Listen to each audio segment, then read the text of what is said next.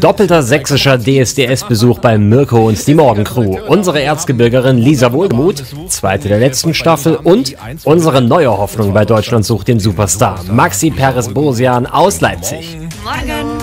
Maxi hat bei uns bewiesen, warum sie in die DSDS-Live-Shows gehört.